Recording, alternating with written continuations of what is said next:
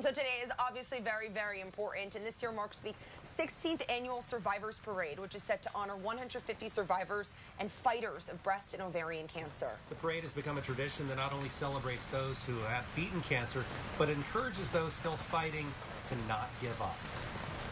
The march will be happening on the racetrack prior to the running of the Kentucky Oaks this afternoon to support breast cancer and this mission of the Survivor Parade. You can make a donation to Derby Divas of the Norton Cancer Institute or to Horses and Hope with the Kentucky Cancer Program.